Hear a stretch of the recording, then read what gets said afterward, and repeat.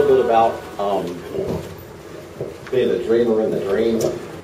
Well, yeah, there's, in the field of psychology now, we've had for some time this idea of lucid dreaming, and and a lucid dreamer is is a dreamer that's aware that there's a dream going on. It's very empowering. You know, you could have monsters and fire-breathing dragons and everything, but if you are aware that you're dreaming, it's kind of fun. You're like, ha, ha, look at that, look at those flames. if you're identified with the figure, it's like scorched. you know, you're just heated up there and burned to a crisp. So there's a big difference between being the dreamer of the dream and a dream figure. And you might say that, that actually that's what all the mind training of A Course in Miracles is, just to bring you into that state of mind. There's even one place in the text where Jesus says, awareness of dreaming is the function of God's teachers. Awareness of dreaming is the function of God's teachers.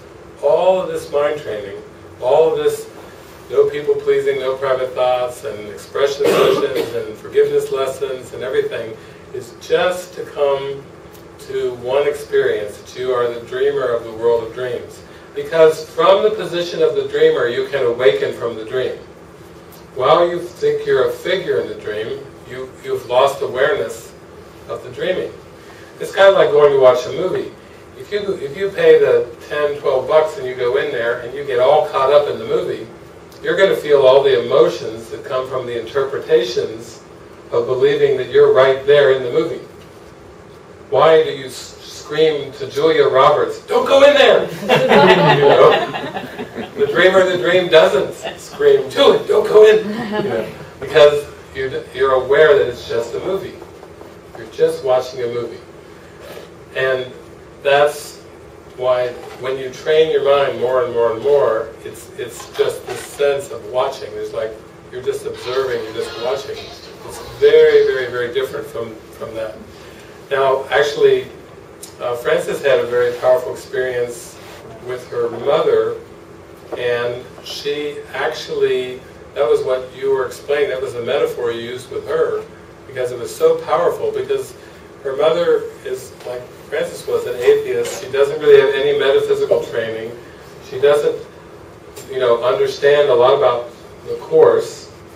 But when we went over to Beijing, she got on the website and my all of these deep teachings have been translated into Mandarin. So she just thought she'd just check up on what this guy her daughter is traveling with is trying to really teach. So she went in and she read the teachings in Mandarin, and then she came and she said, he's teaching that there is no world. Uh, imagine that, you know, who, who is your who is your daughter hanging around with, and what is he actually teaching? And then you can take it from there because she asked that of Frances, like, what is this stuff?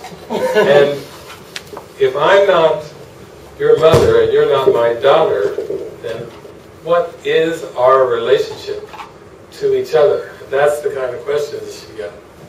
And yeah, and when she asked that, I consciously I was just thinking, I can how can I answer when she doesn't believe she's not into God, she's not into any spiritual teachings, metaphysic metaphysical teachings. I can't explain in a way that she could understand.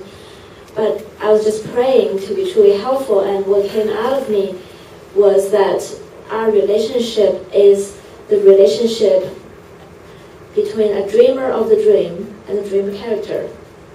And can you, so I, I just elaborated for about an hour and a half actually, talking about can you imagine while you have a night um, sleep and you have a dream and you dream up all these characters and all the dramas and when you forget you're dreaming, you actually experience all these emotions and fears and pleasures and everything. And she, she was following along and she really, really got it. And she loved the metaphor of being, you know, use the night dream. And she could really relate how if this is a dream, this is an illusion, and there is nothing there, and all these emotions is really like all that is necessary is to wake up from the dream, and there's no other solutions. So at the end of the whole talk, she actually said that, so who am I is the only question, isn't it? Mm-hmm. That's after an hour and a half of talk. I said, yeah, that is the only question. So it was very profound for her because after that, she actually, within two weeks, I think, after we left China, she actually had two mystical experiences. And, and that got her, got her attention because that was beyond everything that she could un- understand in this world. And that explained a lot. So, That's, it's that significant.